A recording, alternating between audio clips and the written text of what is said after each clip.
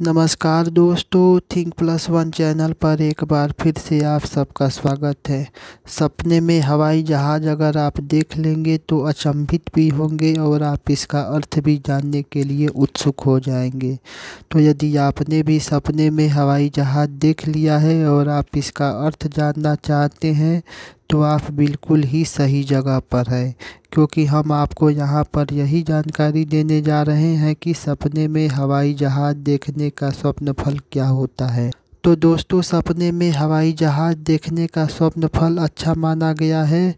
दरअसल, स्वप्न ज्योतिष के अनुसार यह सपना इस बात की ओर इशारा करता है कि आपको व्यापार में अधिक झूठ बोलना पड़ेगा। लेकिन आपको लाभ भी होगा।